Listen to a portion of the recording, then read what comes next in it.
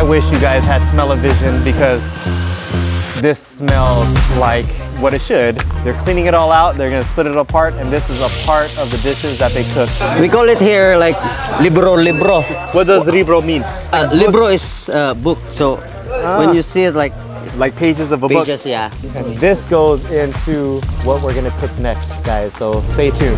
Back in the kitchen with the Carabao, and it's got the most yummy, best smelling parts ever. The intestines that were cleaned. So this is like where the inside of the stomach has these lining that's like little books. So it's almost like a little book page. We've got the honeycomb part, we got the hairy part. So we've got pretty much every part of the intestine. We got this thick, stiff part of the stomach that smells exactly like you would smell carabao when you open it up and there's still a lot of poop inside.